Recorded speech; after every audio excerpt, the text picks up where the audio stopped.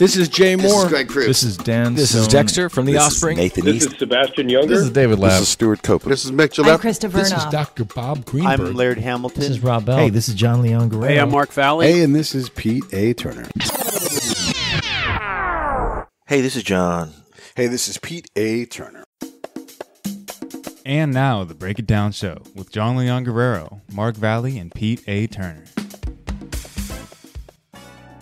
At, well, we're at Pete's house. That's right. And we are enjoying our NAMM show week A lot of slash weekend. reflecting. Yeah. Yeah. And I think the NAMM show done wore us out. There's two more days of this thing, man, and I don't know that I can take any more. If it didn't wear us out, it definitely wore parts of my body out. Yeah.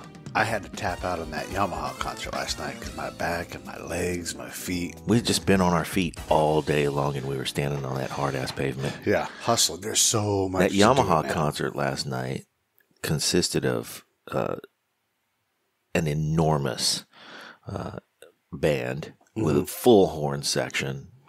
I believe there were strings, there were singers, and they were directed musically by our friend Nathan East. Show guest number. You got a number for me? No, You can't. You can't pull. Sometimes you get good I at don't have a number for you. I'll grab that while we're talking. Uh, but Nathan East has, of course, been a Yamaha artist for the length of his career, and he is just beloved at Yamaha. So when they throw a big concert like this, and he's available, God only knows how on earth he's available.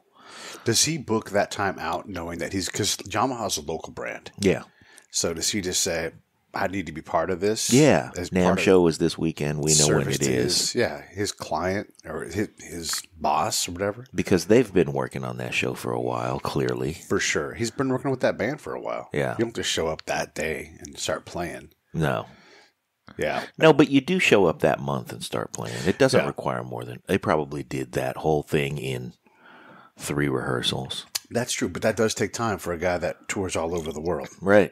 And he was guest number one five five. 155, Nathan East. We're on two eighteen right now and accelerating. Holy cow. So he is uh, one of the very wonderful friends that we've made doing this show. And to witness his work last night was uh, spectacular. Right. The uh, show included. Who did that show include? Lindsey Stirling, Marc Broussard, Butch Walker, Yeah, Melissa Etheridge, that's right. uh, Michael McDonald. Yeah, And that's, that's as much as we know. yeah because we had we had actually went on to record because it was a secret and we bailed. Yeah. Well, we didn't bail. We went on to go work. We had an interview to do Yeah, that's true. with the Wesonator, The Wesonator. And he was fantastic. I He cannot sure wait. is. Cannot Yeah. wait for you guys to hear that show. What a great guy, man. I love that dude. yeah. Wesonator.com. W E S O Nader.com. Yeah. And we're talking about Wes Maebe. We're not maybe talking about Wes. We're talking about Wes Maebe. He's a producer, engineer, uh, front of the house guy sometimes. Yeah. Just an engineer extraordinaire, man. That guy's got a bundle of knowledge in his head that is a lot of fun. And he's totally cool. He is. He's got, and he didn't tell this story on mic, but he's got a great Bruce Foxton story. Mm-hmm. And if you know who Bruce is, you know that he's a little bit of a salty guy. Wes has the chops to uh, bark back a little bit at the talent Mm-hmm. because, Yeah. Yo, we can make this easy or we can make this difficult. yeah, And it's not just that he has the chops.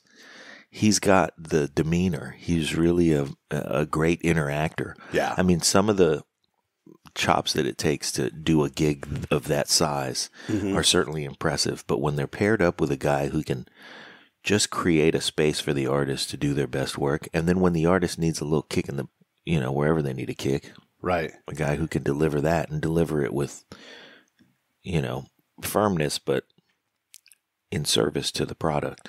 I just, man, I just found him to be a great guy. And then really, it's from what the impression that we got from him.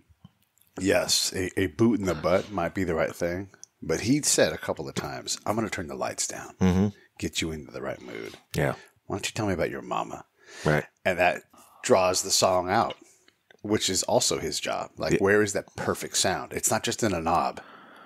No, it's not in the knob at all. The knob comes secondary. Mm-hmm. So Yeah, that's gonna be cool. That is going to be cool. Uh, before we get started, too, I just want to do a little commercial for the Laird Coffee Creamer because, man, we've been drinking this turmeric creamer Yeah, it's so good. and it is wonderful. Thank you, And I will- Laird. yeah, thank you, Laird. And I will say this: this we purchased this. Mm-hmm. This is my Christmas gift that we're consuming. So this is not like Laird gave us money or gave us free product. Yeah. legitimately drink it and glad to pay Laird f- money for it. Wouldn't Yeah. take free from him because I want him to do well. Yeah, yeah, we're we're supporting his product. Hey, let's face it, man. The guy works hard to uh, create stuff that's good for you. Yeah, He admitted to us that I'm trying to get this right. yeah, You know, I, I know that some of the time I'm going to get it right, some of the time not. I'm going to miss the mark a little bit, but let's do what we can Yeah. to eat better and live better and all that stuff. And we want to support all that. Also, the shit is delicious. it's so good. Yeah. Anyway. let's talk a little bit about the Grammys. That's topical. Yeah. It's We- topical because it, it sort of messed with us this year. Na- th- you know, this NAMM show has been has been pretty good. I mean, we saw Bootsy yesterday. We saw we've seen a few people, but in in years past, uh, I've managed to see and meet really a lot more people than than I did this year. And I don't know if it's because I'm walking slower, but I don't think that is. One of the reasons is that the show is just enormous. I mean, good God. We're averaging just shy of 20,000 steps a day. hmm Yeah, it's a lot of stepping. Yeah. Yeah, the show is mammoth. And, and I don't know, there's not that many places on earth they can go to that are bigger and be organized in a place where people would want to go to show. I mean, I'm sure you can go off in a field out in the steppes in Asia, you know, put up a bunch of tents, but this isn't a nomad show. This is a music show. and They need to be near a, certain things. Right? Like electricity.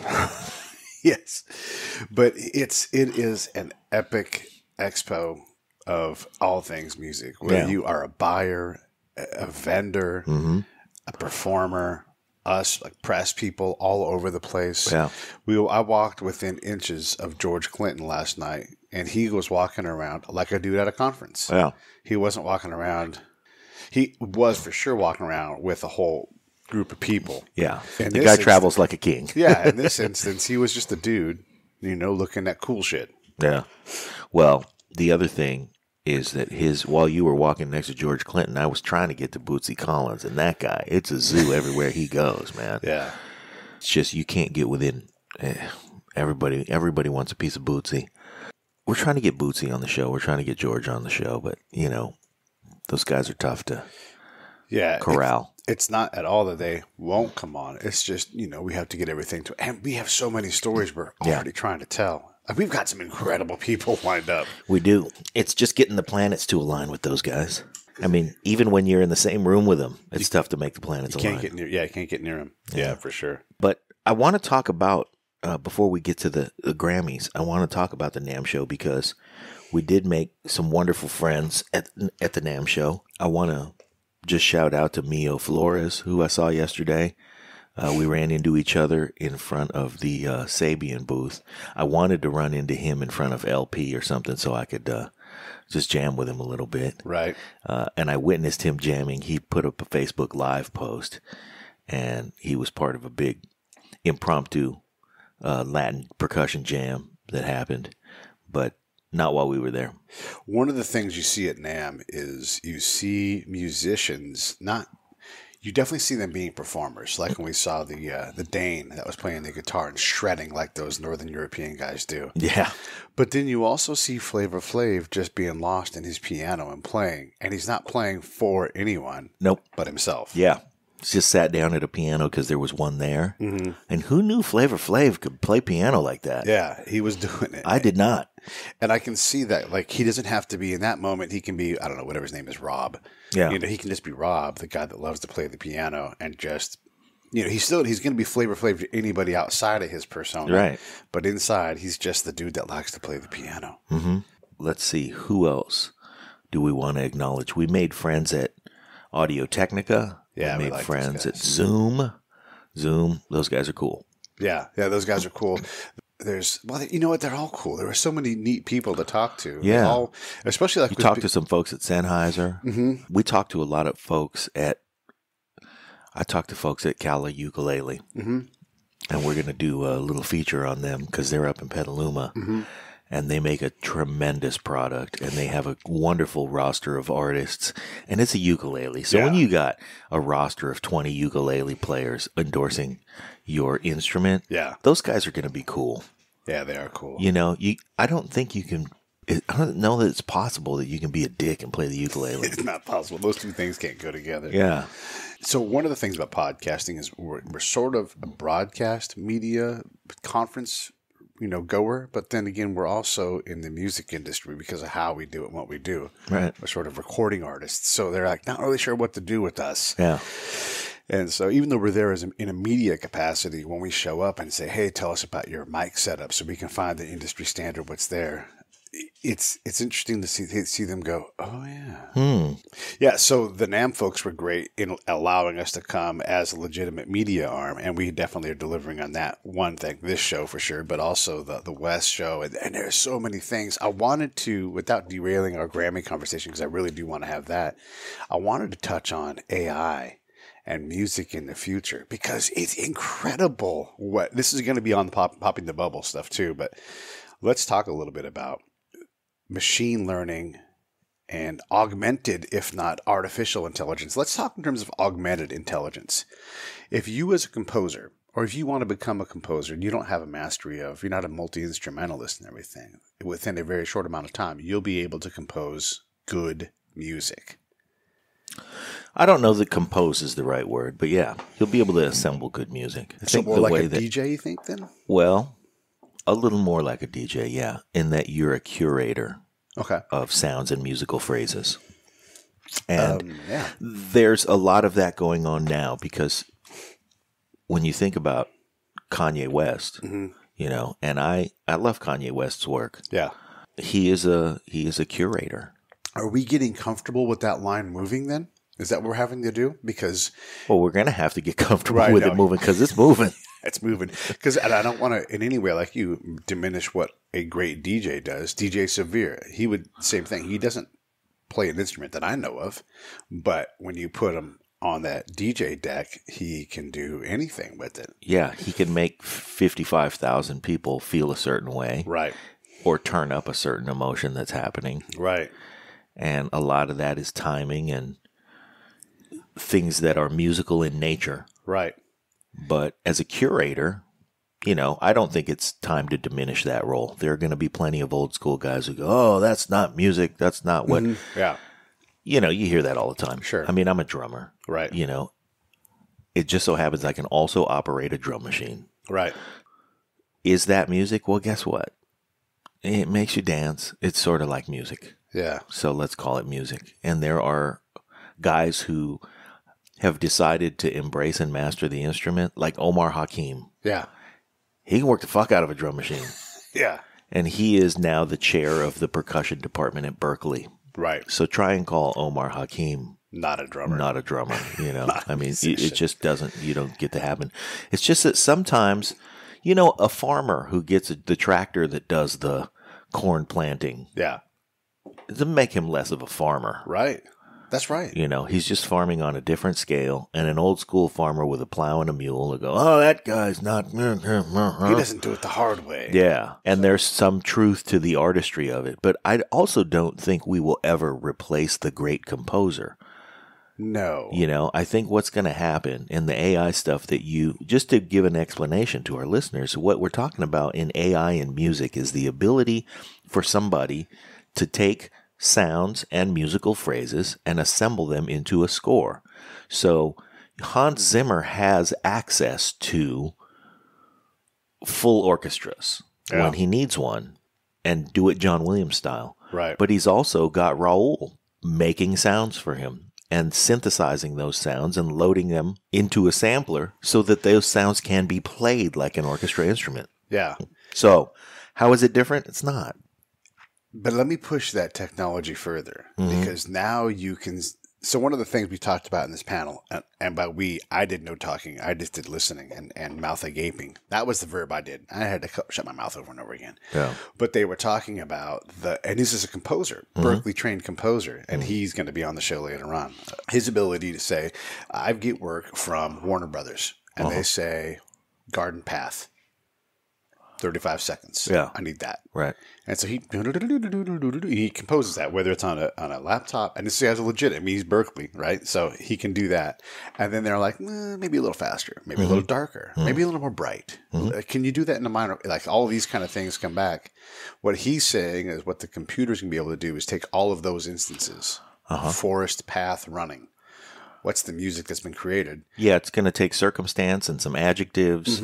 And instead of being compositional, you are going to say, these circumstances, computer, create. And the computer will, and it'll, your music is done. Right. And then you'll listen to it and you'll make a choice. Yeah. Maybe there's 30 choices, you know, like uh, with picture taking.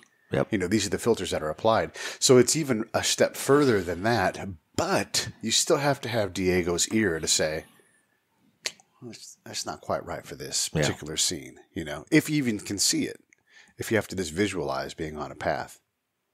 Sure. Is that still composing, do you think? Sort of. Yeah. You know, you still have choices to make. Yeah. It's really nowadays. See, there used to be gates. If you were a musician, you had to get good. Right. and you had to get good enough that you made it into a club and that the club owner would hire you Right. and then you would play five nights a week and if you were really good you got playing at two clubs and you started racking up hours Right. and then when you started to get really good at that and master that somebody would give you an opportunity to go into a studio Right. Okay. and then you would land in a studio and you would figure that out and if you were any good you got good at that Yeah. and then maybe you got a recording contract. And when you got a recording contract, then you got to go into one of the big rooms. Yeah. And you got there and you started to, and then they, the record labels at the time would nurture you and they would develop you as an artist. And all of this stuff got shortcutted Yeah. with the multi track recorder that you could set up in your basement with a drum machine and the sampler Yeah. you know, and, and I just jumped ahead 10 steps. But, you know, first it was a multi track recorder. You could record on a cassette and play your guitar into it Yeah. and then stop and play a piano into it. And all of these technological things, people go, oh no, No. you're gonna, and what about the great producers? They're still great producers. Yeah. Still great. There's still a major league. Yeah. And so what you've done is you've given more access to more people in the minor leagues. And that's what AI is going to do. Yeah. It's going to expand the minor leagues and it's going to knock the gates down. And more people who are interested are going to be allowed to dip their toe. Yeah. And some of them are going to get pretty good at it and maybe do some things that are pretty cool. Right. But like Kanye, Yeah. you do some things with the sampler that are pretty cool, and then somebody looks at you and goes, Hey, let's see if you can step that up, Yeah. and let's see if you can make a record. This is the thing. And as you were talking, I was struck by this realization when when young people listen to music, they're not worried about how great Brian May can shred or Uh-huh. Rudolf Schenker or any of those. They're not worried about that. That's not their music. You are an old ass man pulling Right. up a Ru- Rudy Schenker. Yeah. Wow. Well, I mean, we can we can pick a more modern guy. They're not worried about what Jack I think White's we were doing. in the room with a Dane yesterday. Yeah, You saw a Dane shredding, and so, yeah. But the thing is, is that's not their music. Deadmau5 is their music. How Yeah. many instruments does Deadmau5 play when he's at a show? His instrument is that that goofy mouse hat, you know. Right. And this sound, wow, you know, like that's what he does, and he he has it queued up. So he's a world class, fantastic, and highly skilled, ten thousand plus hour guy. Mm-hmm. All the credit in the world, but I don't think AI scares young people. No, it doesn't. I don't think it. they're not And I don't think it should scare us. Yeah, it, it shouldn't. That's my whole point. Is like if that's where music is going, then Mm-hmm. we need to trust that music, like it always has, will. And Dr. Bob would tell us the same thing. Yep. it will find its spot. Yeah. and there will absolutely be people like Quincy Jones is still going to have work. Yep. You know, got John Williams. it- these are old dudes, but they're still going to have work. No one's going to stay. Well, no, Well, there's going to be young dudes who are still going to have work. Raul's going to still have work. Raul's going to still have work. Right. You know, even if you go to a guy like Pharrell, he's going to still have work Right. and he's going to still be great. The reality is this: And since we're dropping guests that have been, Phil Deckard's been on the show. And Yeah. I love Phil. And Me they- too, man. I love Phil. He hit the sweet spot for what they were doing, and they mm-hmm. were right there. They had their hand on a ring, wasn't a mm-hmm. brass ring, but they got to do that life. Yeah. And right now, within the next five years, a computer can replicate everything they did at the level they did it. Can they go play the whiskey and get a bunch of people to make out, get drunk? I don't know. Yeah. Why not? But is that what we recognize as being a great time? No. Yeah. But the people that are going to the because I don't, I don't I don't go to the whiskey anymore. I know. You're talking about, you might as well be talking about people who go to the moon. yeah, those guys were almost all dead. Yeah. But that's the the whole thing is is like that's where the young part is. That's rock and roll. Yep. That's anti-establishment. We're gonna have a robot do this. Well, shit. you know what's going to happen is the robot's going to do his thing for a little bit, Mm-hmm. and then the robot's going to become the establishment. Yeah. Because that's really what it comes down to. There are plenty of guys who can do a show with, you know, backing tracks, drum machines, Mm-hmm. Yeah. and and all that. But when you're the greatest, when you're Jay Z, Yeah. It's not good enough anymore. I'm going to make a little bit of a prediction Mm-hmm. right here. So, because background music is for sure going to be one of the first areas that gets disrupted by this, and people that just make a living making background music or video game music on the lower end, high end people that are going to pay high end money are still going to hire the best guys. I think silence might come into vogue as a way to create tension in music. Where Uh-huh. like, just because it'll be some become so ubiquitous, we'll just be like shut up, and then someone will say shutting up is going to become the new. Uh, That's a great prediction. Right. That there's going to be a film movement yeah, where there is silence, Right. And You'll silence is used as a. with the uh, thing. I met Ron Harris at at the NAMM show this week, and Ron Harris is an A and R guy. was a, was a drummer before that. He'll be on the show pretty soon. But we were talking about, and just in passing, the making of a record and how it has to sound like a record. Yeah. And I, I had a conversation that I hadn't had, and I want to share it with our listeners because what what he was talking about was when a great artist's when a great artist makes a record, it sounds like a record. Yeah. And I was with Cori, Cori Jacobs, and Since we're dropping show guests. yeah, and Cori said, "What do you mean by that, Ron?" And he said, "I don't know." But but it. but you know it when you don't hear it. Yeah. It's like porn, Yeah. that porn definition. Yeah, you're right. You do. You know it when you don't hear it.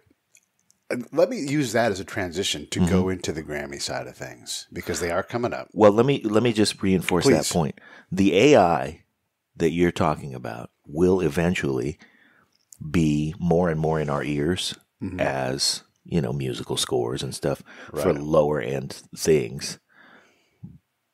But it won't sound like Hans Zimmer. It won't sound like John Williams. I disagree with that 100%. Oh, I okay, you can. but it won't because that's what the difference is. That's why when you hear a Mariah Carey record, it sounds like a record Right. because you can hear somebody sing a Mariah Carey song and go, "Well, that's great for a demo, Yeah. but it sounds like a demo. It doesn't sound like a record."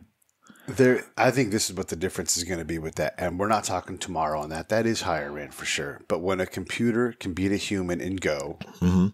whoop their ass in chess, Yeah, right. dominate like you. yeah, we can't win. We can't win in chess anymore. Right, and Go is more complicated than chess. Yeah. So if it's doing that, if it's figuring out, we had this conversation last night. If it's if the guys at Stelvio Oncology are figuring out how to beat cancer with a self-learning robot that thinks in 57 dimensions, it's going to look at all the patterns of all the music that's ever been written and examine it in ways that we could never even dream of. You know, thousands of lifetimes worth of work mm-hmm. chewed up and spit out, and it will be able to predict what we like Right. better than we do. Did you see Finding Bobby Fischer? Yeah, yeah, yeah. Okay. Do you remember that scene in Finding Bobby Fischer where they were looking at the chessboard and the kid just stares at the chessboard and then reaches his hand out Yeah, to shake hands with the guy yeah, and say, This is your opportunity to concede before I fuck you. yeah. That's what the machine doesn't do. I disagree with that. The machine already knows. It knows every single It knows. game ever played. Sure. It knows the best move. but it doesn't look you in the eye and reach across the oh, table Oh, with its reach? hand. Yeah. You know, and that's the the the human piece. There is a human piece Yes. that is going to exist way at the top end that will never be replaced. I don't know. I, I think that the economy of pushing a button, even if it costs ten thousand dollars to buy that button, the economy to push that button and make that music in an instant mm-hmm. is going to outweigh. It'll always be button pushed music, That's fine. and the and the line will continue to creep up. yeah. But at the very top of the heap, there's going to be a Within dude. our lifetime, that button pushed music, we won't be able to discern the difference between that and what someone else does. We already have it in language where it's very similar. Like you can go, I think you're a robot, and you can get there, but you can't have that conversation with music. You just get it. You receive it, and it's based on the music that we love. It's predictive. It can do it. So it's going to reach that point. And we will enjoy the experience of the Hollywood Bowl of watching John Williams swing his arms and have a thousand French horns way more than some dude go, go. But that's only because the person that pushes that button hasn't figured out how to fill the Hollywood Bowl with emotion. And maybe they can't. Maybe that is, you know, something else, but Yeah, there's always going to be something missing. yeah. Yeah. I think there's always going to be something missing. I mean, as much as you know, the drum machine has gotten great, and Yeah. you can you can play a shuffle on a drum machine, Yeah. a great shuffle, Right. but you can't play it like Jeff Porcaro. No, you sure And can. and you can and you can program a great groove on a drum machine, and Omar Hakim does it all the time, Yeah. but it doesn't play like Omar Hakim. Well, and sometimes you got to swing a little bit. You know, sometimes some nights it's a little more funky than the other night, mm-hmm. and the live performance aspect of that you cannot get. Right. But But I think that's what it is. It'll always vacillate between hey much how much more can we do with this with this machinery, Uh-huh. and it'll get better and better and better until we get sick of it and go Yeah. okay hold hold on let's just Yeah. back off of that for a little while yeah, and do this. I mean, yeah, you're right. New Order plays live music on stage now with actual instruments, and they play the hell out of some keyboards too. But yeah, And it had to get to that. It had to get to the point where they're they've they've taken the machines to their limit okay, and the limit's going to continue to creep. And that's why I support it because it's going to make music better. I love listening to Kanye West. I love listening to the Neptunes. I love Dan the Automator. I love all these guys who use machines to make music. I also love Prince. does that ultimately allow Kraftwerk to get into the Rock and Roll Hall of Fame? I mean, Jesus fucking Christ! I look what hope they so. Kicked off. sake. Yeah. You know, they took something that wasn't supposed to work, and look where it's at. now. Kraftwerk will be looked upon properly yeah, as the godfathers of a lot. a modern a modern interpretation yeah, of music. And I think that the other thing that's going to happen as AI continues to move that line is that more music will become literate.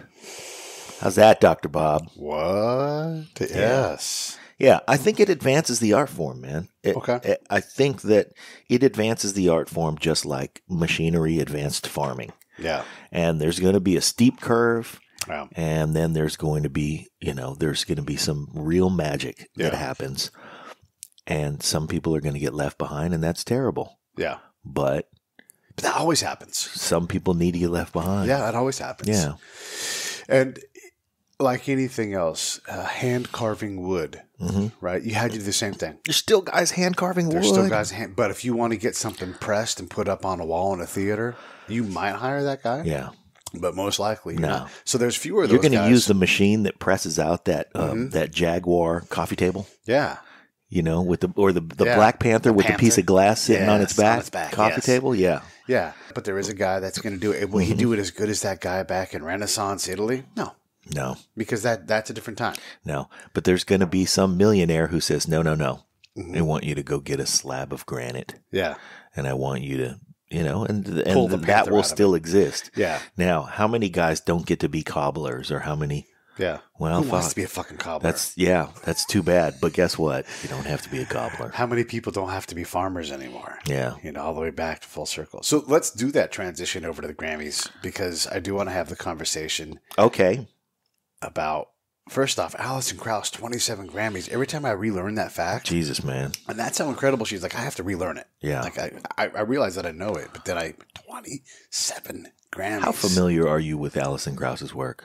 I would say I'm passively familiar. Yeah. Mm-hmm. You know, I know her voice when I hear it. I think I know her sound, but I might get her confused with somebody similar. But yeah, I, I- know when she's around. Yeah.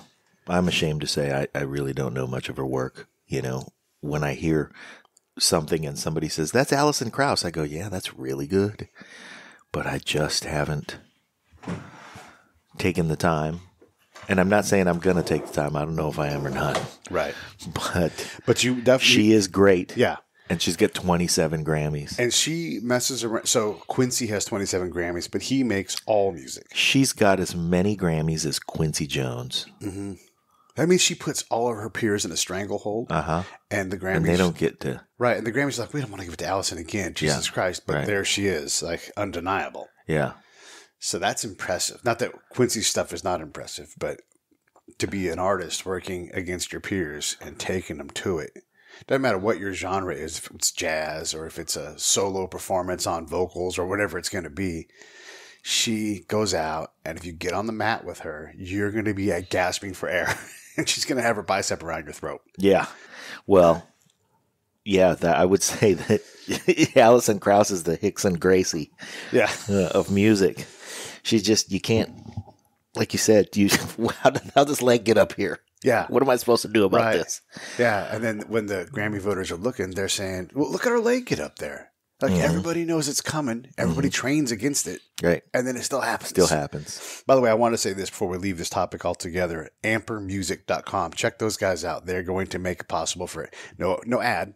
I'm just one of the, the people I learned about. And we'll have them on the show or on Popping the Bubble. Those guys are making it so that if you don't have a literate music background, you will be able to make music. It's incredible. Back to uh, Alison Krauss and her uh, her arm snapping, triangle choking. So now, if you're Alison Krauss Yeah. and you move away from, and I'm not at all uh, saying that she's, well, let's face it, she's in a very specific, um, you know, category that she makes music for, and to compare her to Quincy Jones, you know, he's.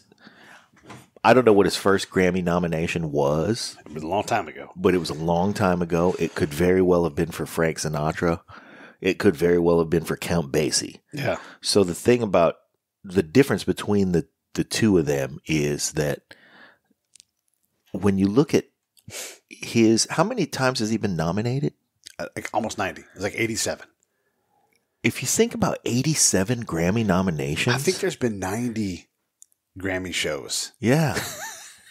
well, and that's you're looking at a career that spans many years, but Yeah. it still means that every single year he produced something that got multiple Grammy Right. nods. That's what that math looks like. Yeah.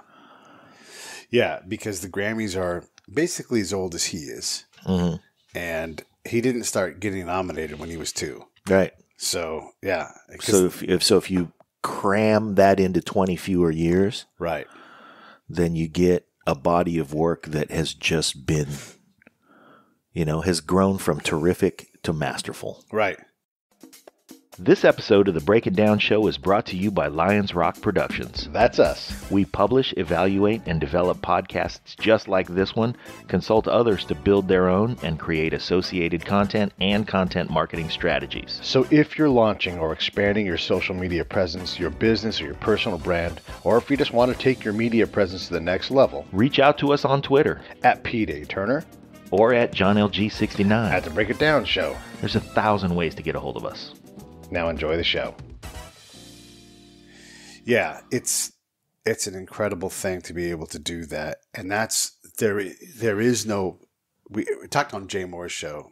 We were talking about um, you know the goat and all that kind of stuff. The guy that comes before the goat is zeroth Yeah. because first is great, Yep. but you'll never be better than Quincy Jones, and Yeah. he doesn't have to pull his resume out. No. he's it's just over with him. He's Yeah. with, and the other guys can be zero with too, but he's in that class where you you can't have a career like that. Yeah. You never can. No. You can hope to work for him, Yep. and that's That's it. really what it is. You're going to try to apprentice in his presence so that you can gain some of that wisdom and go do something phenomenal. Yeah. Yeah. He's our Haydn of our time. Yeah. You know, where you work under him or you work under the guy that worked under him. Yeah, and that's Incredible. often great. Yeah. Yeah. I mean, that's how we got to Bill Belichick. You know, he Yep. studied under Bill Walsh. And the guys that come out from, the, you know, those coaching trees exist for a reason. It's the same thing. When, when we talk about greatness, I know there's a lot of criticism against the Grammys for their selection of, of music and everything. And there's an article we were looking at this morning in the Washington Post, and they're talking about mistakes made. And they talked about the album of the year in 1980. Billy Joel won for 52nd Street. Okay.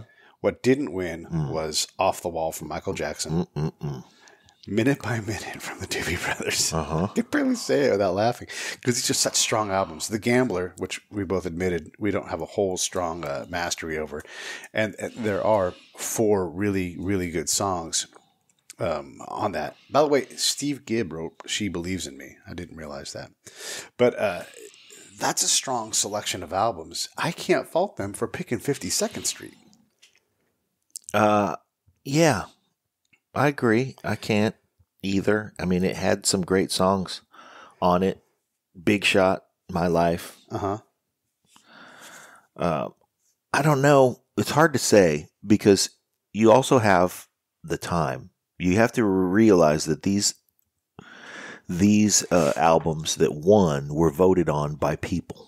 Right. and people had a certain sentiment at that time about certain things and certain artists and that always plays into that that dynamic exists so you know now i can tell you how i feel about 52nd street now and i can tell you how i feel about off the wall now Yeah. and about both of those artists now but i wasn't around to vote for those in 1980 i mean i, I was alive but not you know i was in a voting NARAS member i'm not now and wasn't then so you know It- we have retrospect now Yeah. And when we try to criticize these guys, look at the albums that were winning in that era.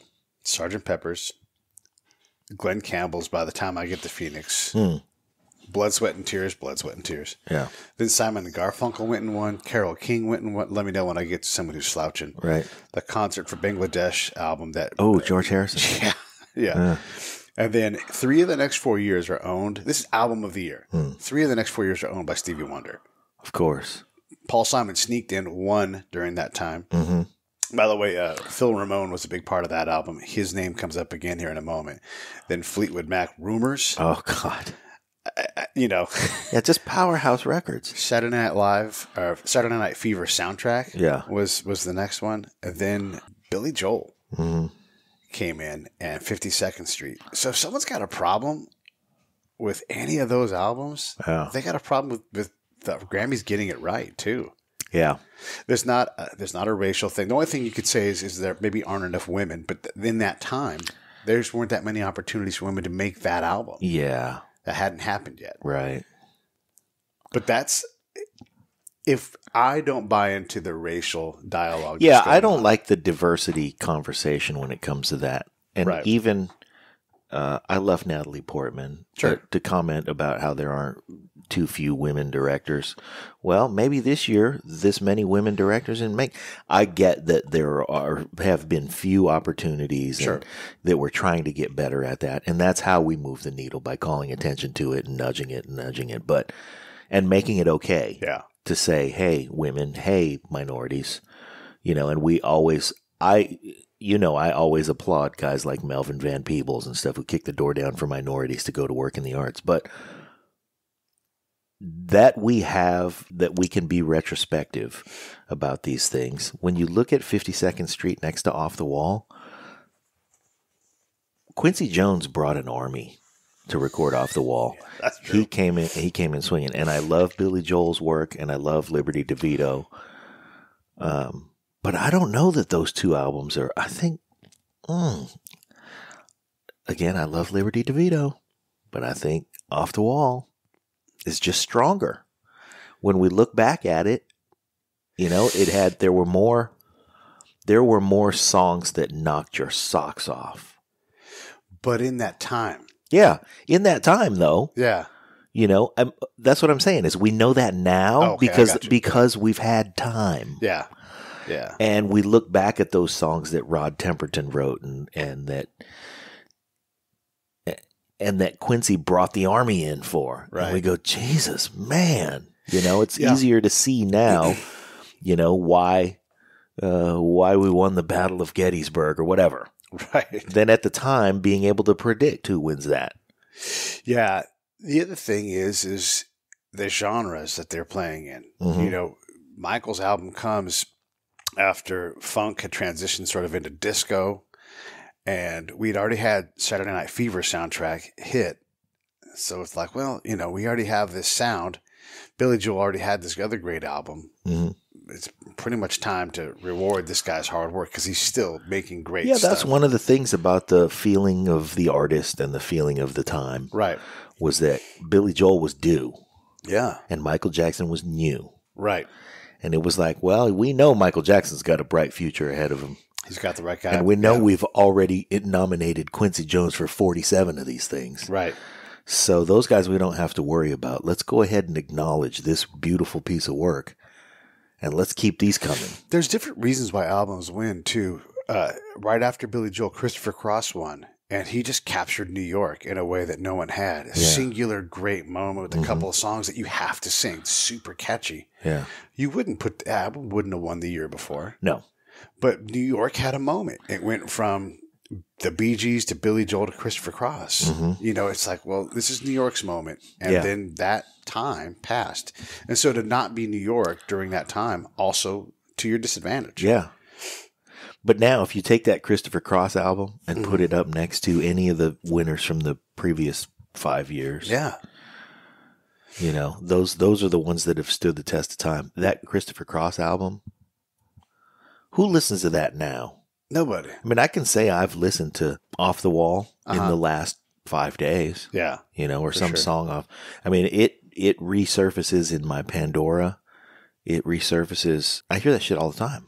When you look at the albums that Christopher Cross beat, Glass Houses by Billy Joel, Yeah, Pink Floyd, The Wall, come on, and then uh, come on. Yeah, Frank Frank Sinatra did a trilogy of Past, Present, Future, and then Mm. Barbra Streisand did Guilty. So he beat legitimate people, but he captured the zeitgeist. Yeah, He's like, I'm going to put this his in a box. You know, Yeah. you know, when you're stuck between the moon and New York City, like, yeah, the best you can do is fall in love. Like, oh, everybody that year got married to that song. yeah, You know, that's what makes the difference. Look at the guy that won next year. John Lennon won yeah. for Double Fantasy, and, hmm. and I know Oko's, you know, Oko's on that. Yoko Ono's on that album as well. But if John Lennon, She wasn't doing the heavy lifting. right? If John Lennon's alive, does that album win? I, I don't know, yeah, but that yeah. It's hard to say. And it's not that he he won because he died, but that certainly didn't hurt. You know, it's like, Right. man, this is our last chance. This is his. Yep. This is his thing. This is the last song he's ever going to sing. Yeah, I want to say, um, well, okay, that's great that uh, that he won that, but I want to say that yeah, he definitely benefited from his passing. There was a very strong sentiment and a very strong resurgence of the love for his body of work Yeah. that happened at that time that allowed him to win. When I worked at Mix, we were talking about when I worked at Mix last night with uh, with our new buddy, the Wesinator. Um, Christopher Ca- Cross owned uh, an SSL console that he had in his studio at his house. And this SSL console, when you see pictures of a recording studio and you see this piece of fucking gargantuan furniture with 128 rows of EQ and fader that looks like a space uh, command center, Mhm. that's what he had in his house Yeah. an SSL console that he might have paid hundred thousand dollars for, and he was selling it, and so he put an ad in mix for his SSL console. I don't, I didn't follow up or anything. I don't know if he ever sold it, but I just thought it was uh, pretty interesting that I answered the phone one day and it was Christopher Cross, and he wanted to put an ad in mix because he was selling his SSL console. Um, so, if our listeners out there include the guy who bought Christopher Cross, Christopher Cross's SSL console, and by the way, in the ad, the ad he specified like this is Christopher Cross's console. So, if you're the guy who bought his uh, his SSL board, uh, please ping us. I want. I'm curious to know what happened to that thing. Curious to know where it went, how you got it there, and all that stuff. Yeah, that's always. Uh, 'Cause that's one of those things that you move in a shipping container. mhm. Yeah, and you have to get it out, Yeah, and then you have to get it in of everything Yeah. along the way. How do we get this into a shipping container? sometimes it involves putting it in a place Uh-huh. and then building the room around it. And sometimes, you know, it always involves a guy with all of his fingers splayed saying, "It's delicate. It's delicate. Don't bump it." And he's got his hands out and he's imploring you. I just got a uh, I just got a text from Kaylee Moyer. Mhm.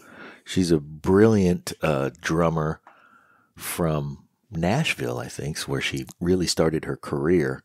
Uh, although I think she's from somewhere else before that, but um, she play. I saw her yesterday on the uh, John Hammond Funk Experience or something. John Hammond's got a John Hammond's always got a band, and he's got a band now called the Funk Army, Funk Foundation, Funk Experience, something like that. You know, it's John Hammond is funky, and he's got Kaylee Moyer on the drums. She just confirmed that she'd love to be on the show. Nice, nice. That is So fantastic. right on. And if you don't know Kaylee Moyer, uh, you should get to know her. She's a good drummer. I want, I want to go back to this Grammy thing for album of the year stuff, just to to put a pin in all of these things. Billy Joel continued to get nominated for the next couple of years just Oh. because he put out great stuff, you know. But he only won that one time. Mm.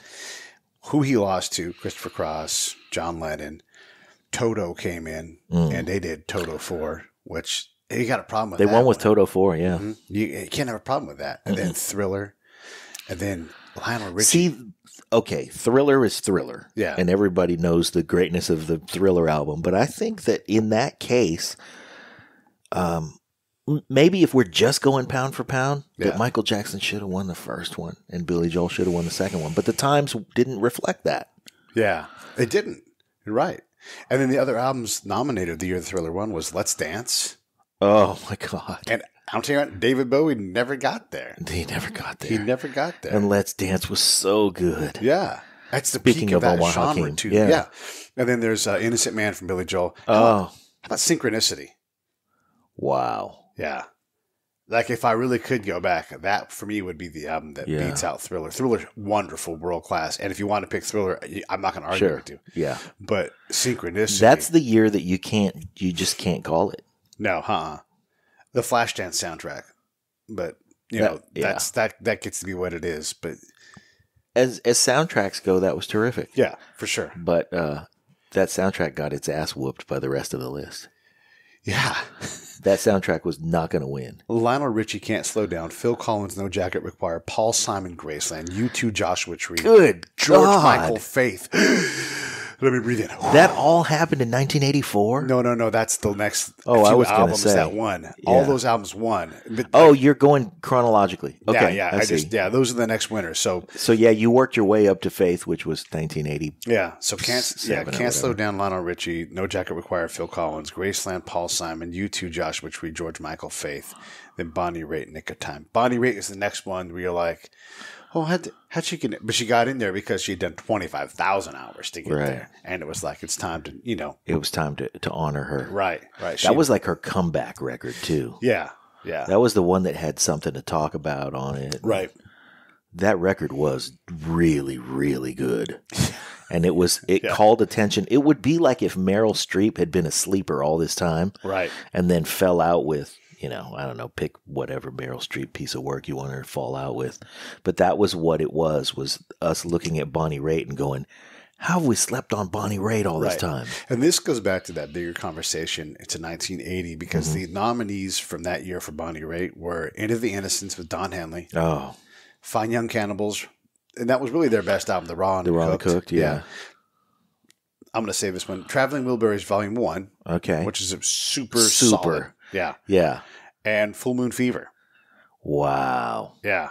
So you could say, oh, Full Moon Fever should have won. Yeah. But no, you can't. No, you can't. Because Bonnie Raitt had been there and then That's she right. blew the door down. None of these guys blew the door down. Tom Petty wouldn't have said that. Right. Tom Petty would have said, "Oh no, no, Yeah. I can't go up against Bonnie Raitt." Yeah. So yeah, and it was so that was ni- 90, 90. That was Straight up- 90. straight up 90, yeah. Okay. So here's the thing about about that to put to give it some context. In 1987, in the fall of 1987, Bonnie Raitt played at the Talk of the Town in Vallejo. Wow. So her career went from Talk of the Town in Vallejo, which is a fucking dive, Right. to which is a dive bar in a dive town. Yeah. And two years later, Yeah. her record wins the Grammy for That means album. she was year. writing songs for that album Yeah. right then. and that was f- and those gigs were fueling that record. Yeah. Those gigs were fueling her saying, "Oh no, hmm I'm not fucking standing for this shit Right. anymore. I'm coming out swinging." And then just to take this era thing a Good little for further. Bonnie Raitt. We love you, Bonnie. Raitt. Absolutely. Boy, please come on the show. Yeah. You know. Uh, then Quincy Jones won gonna have to do that whole show because I'm just gonna be in a warm embrace with Bonnie Raitt, and I'm just gonna go, Bonnie, I love you so much. Yeah. We're just gonna say Bonnie Raitt, ready, go. Yeah. And then she's gonna talk. Quincy Jones won the next year for Back on the Block. Really? Yeah. I didn't know Back on the Block won. And he beat uh, but seriously Phil Collins, Mariah Carey's Mariah Carey. Hmm. Please Hammer Don't Hurt Him. Hmm. Produced by our man James Earley. Yeah. And I guess we should say also uh, show guest Felton Pilate Yep. and then Wilson Phillips, Wilson Phillips. Not a super strong year, and there's nothing wrong with back on the block. But Mhm. then the effect of Bonnie Raitt comes in, and then the next few winners are Natalie Cole, Eric Clapton Unplugged, Whitney Houston, The Bodyguard, Tony Bennett Unplugged, Alanis Morissette, Celine Dion, Lauryn Alanis Hill. Morissette was the reset button. That easily could be. Yeah. But you got these women that like the women broke through and started getting recognized for their their work, and it, it's it's interesting to see that a lot of old things came back into play because Eric Clapton got one with Unplugged, Bob Dylan got one from Time Out. Time Oh, of the Mind. Eric Clapton unplugged. You know what? This is if we have to look. One of the things about this show that we always talk about is, you know, it's hard work doing this show. We put a lot of time into doing this show. Yeah. And thank you, listeners, for for listening because we love that. We spend a lot of time on this show. Yeah, But as you go through that list, a lot of the people who have had an impact on us musically on our lives yeah, have been on the show. You know, you just ran through a bunch of records that a bunch of people we know played on. yeah, So, I mean, and to and of course, what made me think of that was as you're talking about James and Felton and guys like that, and you land on, uh, what was it you landed on? Uh, oh, Eric Eric Clapton unplugged, Unplugged, yeah. that Nathan played on. Yeah. So, and we get to say things like that Nathan played on. Right. And we're talking about Nathan East. We were surrounded last night at that Yamaha thing, Yeah. and the band started to come out on the stage, and we went, "Oh, Nate's playing. yeah, that's our buddy. That's our pal." and then the you know crowd around us started to look up at the stage and go, "Oh, Nathan East," and genuflect as they should. Right. But we were like, "Oh yeah, there's Nate. Yeah. Hey, Nate." Yeah. I guess the the biggest point of this conversation is is the albums that win album of the year Mhm. by and large are wonderful albums and Sure. you can fault the academy but you also have to understand the context of the time you know i, I get why 98 bob dylan wins partly because time out time out of mind time out of mind is great but also because they're like you know what we, we've done all this work Yeah. he's like the greatest american poet alive right now you know male at least it's time to make sure we check the block for him you know Yeah.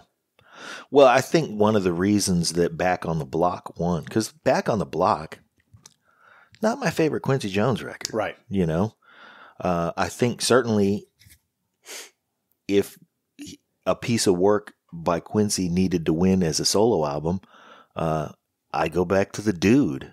I mean, I even like Q's Juke Joint, but Back on the Block, eh, just okay. But it also was the last studio recording that Sarah Vaughan made, and I think Ella Fitzgerald too. i think that's right So when you got that going for you, that's a continuation of the Bonnie Raitt, hey, we better acknowledge these greats right syndrome. Yeah, she definitely opened the door for let's get some of these older people that haven't been recognized and let's get some of these women in here. She blew that all down and we started seeing, you know, Lauryn Hill became a possibility. Yeah. You know, she reached greatness that one time. Yep. But Tony Bennett, Yeah. he definitely deserved it. Yeah. Uh, Whitney Houston, Jesus, you know, like at that point she hadn't won. Well, th- it was time with the bodyguard. Yeah. that was really, really turned out to be the peak of her career, probably. It really did. I mean, you could go to, uh, let's say, what was the club? Like, if you're walked into the club and the band wasn't playing yet, and you were just listening to the music in the club, you could walk into a place like Kimball's or Yoshi's, uh-huh. or you could walk through Ralph's Yeah, in the middle of the night looking for eggs yeah, and hear the, you know, I will always love you. yeah. and hell i just you know i'm just glad also that dolly parton made a big pile of money Man, off of I that i'm Dolly sure she i'm sure she loved that that record was so good as well yeah. So let's ease up on the Grammys a little Okay. bit.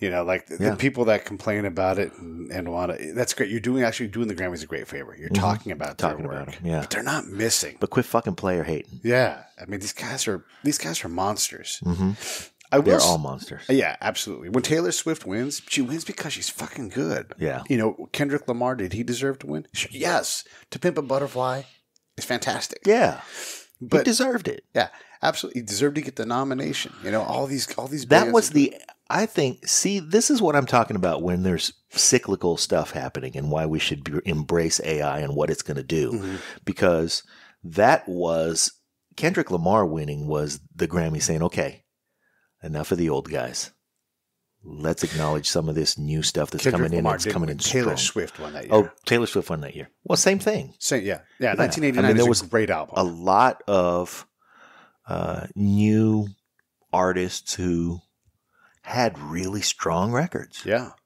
Yeah, absolutely. It, so again, yeah, let's So let's, thank you, NARAS. Yeah. Thank you, Grammys. Thank you, Grammys.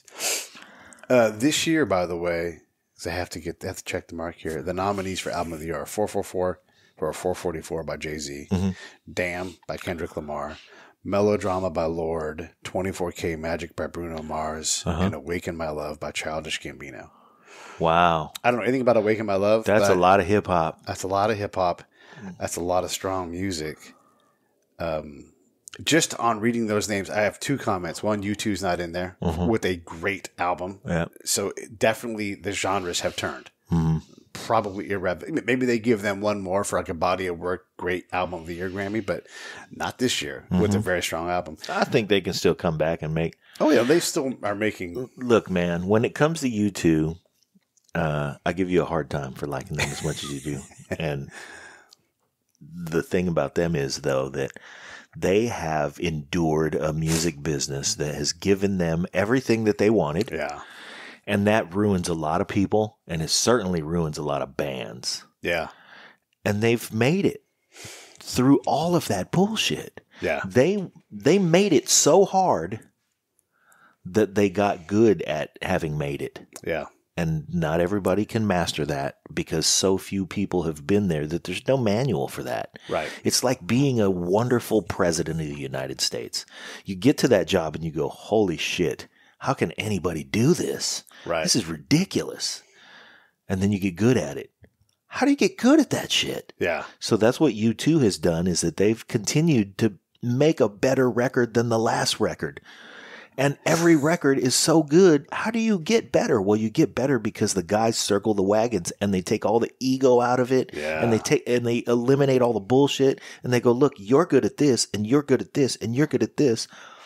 Let's all get a little better at that craft." And you don't have Larry Mullen standing up and going, "Well, I want to be a solo artist and I think I can No. Mm-hmm. I'm going to lay back in this cut and I'm going to figure out how to be better at that. yeah, You guys go do your thing. And when we reconvene, I'm going to bring you something fresh and new in this trade. right. And then we're going to put it all together and see if we can't do this shit again even better than we did last time. How do you continue to do that year over year over year? When was the U2 year where we went, holy shit, those guys have fallen off? Yeah. I think they're feuding. you know, Right. can you imagine? It would be like if the police got along. Right. Yeah. Look at what a great, prolific, amazing band that was that lived for a short amount of time because they couldn't keep the shit together. Yeah. Yeah. The new album is excellent. And one of the things that you have to give credit for is Adam and Larry stay out of the way. Uh huh. and they let the guys that write the music write the music. And I'm not saying anything negative out there playing because when Adam brings his bass lines in, there's all kinds of bass lines that he has. Like, that's that's Adam Clayton. Yeah. And I, I've already been played before. That's a hook in the song. Like that, he is a master of that. Yep. But the other two dudes, when Bono finds that voice, and on this album, it's it's songs of experience. Like they knew they wanted to write this album, and they started talking to their younger selves, thinking about what's the last song I'll ever sing. What would I write? Mm-hmm. And they talk about reducing ego. They talk about just you know what, get over yourself and create this stuff. I should have started earlier and create. Like these are the thoughts of middle aged people. You Yeah. know, I should do this. He's imploring us to get ahead. He's imploring us to like look at inequality in, in, in people around the world, you know, like he always has. Syria, where all that hate and Libya, right? Libya is a 90 minute flight from Rome. Wow. And when you think about it in those contexts, and those guys saying, you got to pay attention to this, is why are we not figuring this out? Why are there, why is there, you know, harvesting of alive humans' organs, you mm-hmm. know, in that place like that? So, To give that context, yeah, I took a 90 minute flight to come down here. yeah, right. It's that far. Yeah. Oakland to Long Beach, Right. 90 minutes. And it's just Rome to Syria, 90 minutes. Right. That's what they do. That's even greater than that. You care about the mothers of the disappeared, you know, the women that lost their sons in South America because U2 said so. Yeah. You care about female inequality because U2 says so. Yeah. So not only do they nail down the music part, but Bono's are conscious. And if we paid attention to what he said and where he puts his real work, Yeah. there's five years between albums because those guys are doing other things. That's how they get along. Yeah. It's time to go write an album. That's true too. And what did you bring this time? And Right. they've all come with something that they. Let me tell you the tale of the time I went to this village. Mhm. Oh, that's a song, Yeah. you know, and then they do it. That Crumbs from Our Table from the 2000s is a song about that. So that's one of the things that really no other band in history has done, at least at that level. And it's incredible. Uh, and they're not nominated this year. But I do want to say that, that that Songs of Experience album is fantastic. And every time I listen to it, it gets better. Bruno Mars's album is a monster. That's a good album. Here's what here's what My I, favorite song on that album is Perm. Is it really? Yeah, I love that song. I, I'm going to shut up and let you talk because I dominated a little bit there. But No, that's that's that's good, man. That's a good reflection. here's what I want to say about the albums that are out there right now. And this goes all the way back to the AI thing. When you look at the writers for the songs in this album, the first name on every one is Mars. Mm. I love Kendrick Lamar. Former guest Stewart Copeland said he's the one that's pushing music in a new direction. Yeah. But Bruno plays, performs, sings, writes. And for me, I'm going to always default to that, even if there is a robot making it. Not that Kendrick is a robot making music, but that's where my that's where my favoritism is going to be. Yeah. I don't care about gender. I don't care about race. You know, I care about the amazing talent, multifaceted talent that Bruno Mars brings to anything. This is the guy that sang that cheesy grenade song. Look what he's doing now. Yeah. And that cheesy grenade song's awesome. you know, but it was just it's schmaltzy and everything else. He, oh my God, just it's fantastic. Okay. Well, this has been quite a recap show. I'm not sure what we recapped because we have we had a lot. We went into this thing with the intention of kind of catching our audience up, uh, which we will do. But I think Three shows a week. That's big news. Jesus, Maybe four because we're producing so many oh shows. my god, it just made my back hurt. That's a lot, man. That's a lot. That's what players do. Yeah, that's true. So anyway, we we love you guys. Thank you for your support, and uh, keep listening and comment and let us know what you think, and we'll keep doing it. And get ready because Mark Valley's show's coming out in about a month. Oh man, Yeah, and it's cool. It's Yeah. hella cool. If you like spy stuff, this is your show. mm-hmm. Yeah, listen to that. It's called the Live Drop. Anyway, uh, thanks everybody, Hey, I'm Pete A. Turner on Twitter. and I'm Jon LG69 on Twitter. Reach out. Seriously, we want to talk to you guys. Hit us up.